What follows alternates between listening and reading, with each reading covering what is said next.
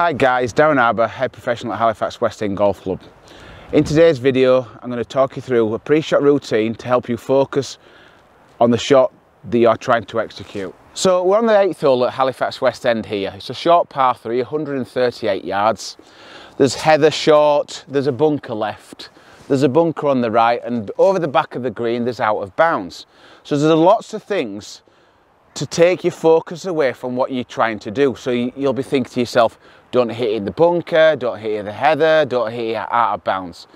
And that will essentially take away what you want to achieve. And that's obviously, obviously hitting the golf ball onto the green. Having a positive mental attitude of where the golf ball wants to go is important. It's like if I say to you now, don't think of a pink elephant. Yeah, what's coming to your brain now? A pink elephant? Visualization is really important in golf. Picture your shot that you want to play. What Jack Nicklaus used to say is before each shot he used to go to the movies.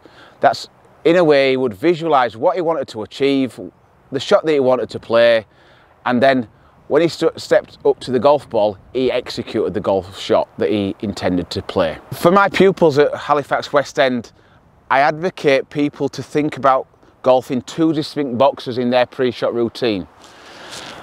This idea is come from a golf book that I read, um, which was by Pia Nilsson, who's a very influential Swedish golf coach, coached Annika Sorenstam for a while.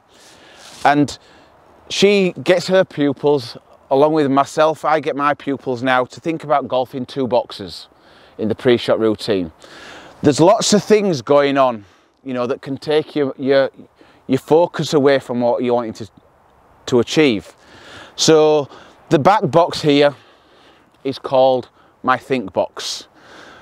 This is where we think about how to execute the shot. If you have any swing technique that you're focusing on to try and focus on that in this part here. This is where we think about all about the game um, prior to executing the shot. When you then step in front of to the front box, now you are focused solely on target, where you want this golf ball to do, go. You've done all your homework here. This is where we just let it happen. We focus on target, when we focus on target, what we find is that all the other bits that's on the hole do go out of focus and we're just focusing on the flag here on the eighth hole or if the wind is from the left hand side where it normally is we'd focus on a tree at the back of the green which we want to start the golf ball off on so this way if when if you are thinking about just target or where you want the golf ball to go in this box here, your brain is now focusing on what you want to achieve and it's more likely that that is going to happen.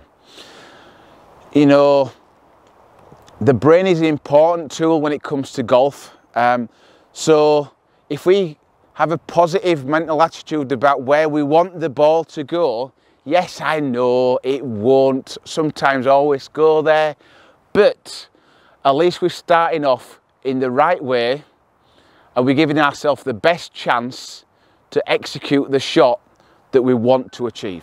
Thank you very much for watching and I hope you've enjoyed today's content and it is something that you may adopt into your pre-shot routine when we return to golf next week. If you have any comments, please put any comments and feedback in the comment section below. Your feedback and your comments on any future content, content I put into this channel is greatly appreciated. Stay safe and I look forward to welcoming you on my next video.